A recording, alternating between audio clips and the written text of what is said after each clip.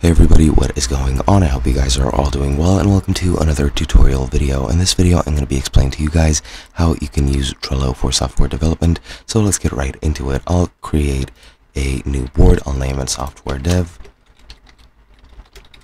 And I'm going to choose a background and create that new board.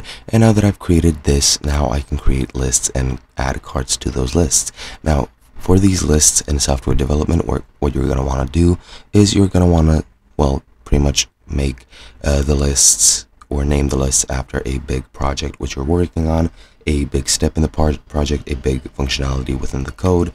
Uh, for example, I don't know, you can even, if you're a web developer, developer add front end, back end, etc etc and into front end you can add login page and then register page. You can do the same to backend as well. Pretty much any functionalities or steps that you want to take, you can add them as cards. And then you can click on those cards, add descriptions, add due dates, checklists, members, labels, even attach other cards. And yeah, that is pretty much what you need to do. That is my recommendation of how you can use it for software dev. Hope you guys enjoyed, and I'll be seeing you guys in another video.